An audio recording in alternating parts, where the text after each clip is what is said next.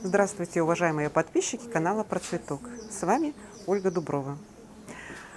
Задача моя рассказать, какие пять растений должны быть обязательно в каждом саду. Но с этой задачей, я считаю, никто бы не справился. Поэтому я расскажу о таких пяти виртуальных корзинах, из которых должен всенепременно состоять ваш сад – начинающий ли вы цветовод-садовод или уже увлеченный продолжающий, приготовились, начинаем. На первое место я, конечно, поставлю розу. Любите вы ее или нет, я думаю, что каждый рано или поздно придет к тому, что он ее полюбит, как бы вы ни отрицали, что надо с ней возиться, что у нее шипы, укрытие и все прочее, потом и шиповник может выскочить. Но, тем не менее, роза царица сада пришла к нам с тысячелетней историей, и до сих пор она востребована, и, как видите, в магазине уже большой ассортимент. С каких роз следует начать? Я буду настаивать на розах, которые как бы мало, наверное, известны, мало распространены, но они есть, на них мало обращают внимание, и это сорта роз на основе розы морщинистой. Их еще называют иногда розы парковые – но парковыми иногда называют вот вообще все, что посадил в парке, то и парковое. Поэтому не ведитесь на эти уловки производителей. Должно звучать, что это роза на основе розы ругоза. Что такое роза ругоза, вы же знаете? Это шиповник с такими крупными плодами, как тыквочки. И чем она хороша, особенно если ваш участок больше пяти соток и позволяет пространство, она хороша всем. У нее цветение начинается раньше всех других групп садовых роз. Начинается оно уже в июне месяце и длится бесконечно. Конечно, через большую волну, потом со спадом, но длится до самой поздней осени, до заморозков. И можно наблюдать, как на обычном шиповнике, такую картину, что розочки еще цветут, но уже сформировались оранжевые плоды. Все происходит одновременно и непрерывно. Укрытие ей не требуется. Зимует она в подавляющем большинстве случаев исключительно хорошо. Только, ну, только если там уже специально вы что-то с ней будете творить непотребное. И единственный недостаток, э, то, что на двоих одну розу вы не купите, с такой целью, что зачеренковать у соседки. Почему? Потому что они практически не поддаются черенкованию в обычных условиях только а, делением куста, отпрысками, когда таковые появятся, образуют в течение времени куртинки такие. И у них сохранился аромат шиповника. И цветки необычайные, на крепких цветоносах, усыпанных, конечно, многочисленными колючками разнокалиберного размера. И цветочки, особенно вот таких сортов, как ну, самый распространенный сорт это ханза, у нее окрас близко к малиновому, царица севера, а, затем сорт очень интересный э, с различными окрасками, там еще идет дальше приставка, это сорт Гротендорст, у которых цветочки ну, прямо как гвоздики. И если бы нам вот просто на фотографии показали, то вряд ли бы вы отличили, гвоздика это или роза. А, старинная роза ну, как старинная, середины прошлого века роза, которая называется Рита Усма. Э, Все это можно найти. Я вам просто заостряю внимание, что вот с каких роз начать и на кого положиться, это сорта на основе розы ругозы, розы морщинистой. Ну и, конечно же, еще одна группа, с которой я рекомендую начинать и которая вас никогда не огорчит, это группа флорибунда. Чем они хороши? Потому что в отличие от чайно-гибридных роз, э, сорта группы флорибунда, они, кстати, и созданы с участием чайно-гибридных роз, но если чайно-гибридная роза заканчивает побег одним цветком, одним э, бутоном, то у флорибунды это просто настоящий букет. И можно как в срезку ее брать, можно любоваться на участке, сорта устойчивые. И э, селекция последних лет направлена на то, чтобы Они были устойчивы как э, к заморозкам, так и к вредителям и болезням, потому что в свое время у питомника кордеса, это розы кордеса в основном, ну, большая часть кордеса, это то, что я вот очень предпочитаю и рекомендую. Кстати, вот э, здесь есть из этой группы. А, были некоторые ошибки, но затем они исправились, и это розы, которые пышут просто своим здоровьем. А, обратите внимание на, такую, на такой сорт Акрополис или Акрополис, как лучше назвать, с необычайно красивыми махровыми розовыми соцветиями. И роза Метеор – это уже с невероятной окраской, которая покорит каждого, оранжево-желтая, меняющаяся, такая вот биколорная окраска. Ну, с розами я завершила. Я к тому, что все непременно надо иметь, потому что роза – это роза. И в букет, и просто на зависть соседям, и себе в радость. Ну, такие всякие разные варианты.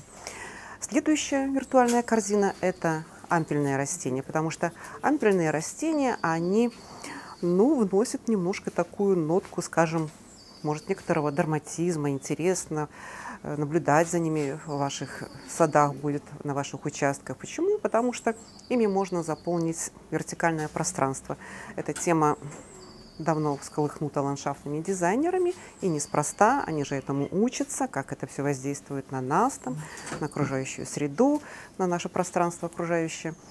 И, пожалуйста, вам можно располагать э, в каких-то местах, э, в подвесных корзинах, кашпо, или специально декорировать э, части там, забора неприглядного, стены, например.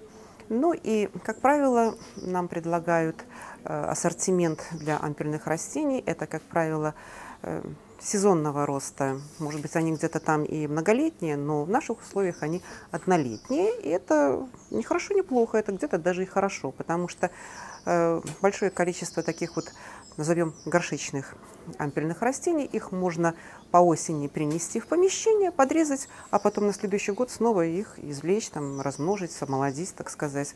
Это и ипомея батат с различными окрасками. Необычное растение, может, там кто-то не встречал, но листва бывает практически такой и сине-черный, бордовый, э, вариегатный, то есть полосочку, э, с сильно рассеченными листьями, ну и так далее, и так далее. Ипомея батата. Это, в принципе, на основе вот этого картофеля батата, который продается в гипермаркетах, сладкий картофель. Но это уже декоративные сорта. Э, затем это плектрантус с таким специфическим ароматом, ну, с различными оригинальными формами, которые тоже образуют каскады. Это и горец головчатый, я когда рассказывала. Да возьмите обычную настурцию, но которая не кустовая, а плетистая, которая будет не спадать вот этими бесконечными водопадами очень красивых э, декоративных листьев, похожих на копытца. Э, ну и уже вообще настоящий водопад это будет дихондра серебристая, которая будет не спадать в самом деле струящимся серебристым потоком. Некоторые сорта так и называются, там э, ледяной поток, серебристый водопад, как-то так. Ну и не забывайте про многолетние, те, которые как я вас учила, почвопокровные могут стать ампельные. Ампельные, когда надоедят, вам станут снова почвопокровные. Это и тот же вербейник монетчатый. Все виды э, тимьянов тоже можно туда э, посадить. Ну и так далее. А следующая виртуальная корзина – это надо, чтобы все непременно в вашем саду были ароматные душистые растения, потому что наше обоняние – это одно из базовых чувств человека, и оно создает для нас определенную атмосферу в саду. Ну, если вот немножко пофилософствовать, такой мини-урок вдохновения и психотерапии вам провести, то аромат может воздействовать на человека совершенно по-разному. Можно с помощью аромата вызывать как положительное настроение, умиротворение, так и какое-то возбуждение. А, ароматы а, могут у нас ассоциироваться э, с воспоминаниями или создавать такие ряды воспоминаний, ассоциаций с чем-то приятным. Если даже было что-то неприятное, оставьте то, что было приятно. Если у вас вдруг такого ничего не было, но я не верю, бабушкины флоксы, запах леса, запах луга, это все ароматы. Если у вас не было, значит летом берете, например, срезаете букет сирени, берете, наливаете чашечку вкусного кофе, самого вкусного и дорогого. Берете красивую салфеточку. Все спят, соседи спят, родные спят, а вы одна в саду. Вдыхаете сирень, смотрите, как струится утреннее солнце в нежной зелени, слышите, как ветерок шуршит в листьях. И все это запоминаете, потому что ну, некоторые философы говорят, что жизнь – это вот этот миг, который мы проживаем вот сейчас, сейчас и здесь. Запоминаете это, и вам этого хватит на целый год. Это то, что касается ароматов. Ну, а ароматные растения вы подберете все непременно по своему вкусу. Никого не слушайте, что «Ой, мне не нравится, зачем ты посадила эту лилию». Но посадите ее подальше и вдыхайте аромат лилий на расстоянии. Только слушайте себя. Это могут быть ароматные пионы, флоксы. Этих растений большое множество, в том числе однолетники, алису. Неповторимый аромат гелиотропа с ванильным приятным запахом. А то, что касается ароматов, и если совместить это с розами, то не забывайте про такую замечательную группу роз из питомника Остина. Их так называют розы Остина супер розы, которые давно уже на рынке и которые устойчивы к неблагоприятным условиям, это Абрахам Дерби, например, которая с необычайным ароматом. Ну и всякие другие, если вы обратите внимание, что они все выводились именно с целью сохранения аромата. Это вот особенность этого питомника Остина. И какую бы вы розу ни взяли, она вся будет густо махровая, и очень с пьянящим ароматом. Почему-то забытое однолетнее растение резида душистая, так и называется, у которой ну просто как будто бы разлили флакон приятного дорогого парфюма. И я думаю, что вас эти запахи ну, вдохновят на что-то положительное, и у вас будут только положительные ассоциации. Эту корзину мы закрываем, ароматами мы сад обеспечили, и следующий Следующая корзина виртуальная – это злаки. Злаки в саду. Вы знаете, я поклонница злаков. И выбирать такие злаки, которые, во-первых, не агрессивные в вашей местности, потому что где-то может просто так вот сидеть кучкой и ничего с ним не происходить, а в других местах он считается инвазивным видом у себя где-то на родине. Не знаю, кто меня слушает, но такое вот бывает и даже запрещен к выращиванию. Допустим, в Австралии кто-то запрещен, а у нас он даже и не зимует. Поэтому обращайте внимание на то, чтобы, э, во-первых, они не расползались корневищами, чтобы они долгое время произрастали на одном месте и не агрессировали по отношению к окружающим растениям.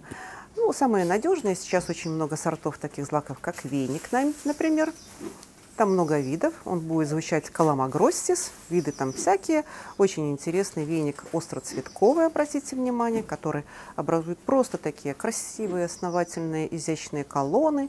А, следующее растение сислерия, когда-то про нее рассказывала. Очень интересный злак, компактный, не очень высокий, растет на одном месте, сильно не разрастается в ширину, не быстро наращивает вот эту купину, которую потом надо подстригать. И у сислерии также много видов, которые отличаются окрасом колосков. Есть очень интересные, золотистым и даже с черненькими практически колосочками.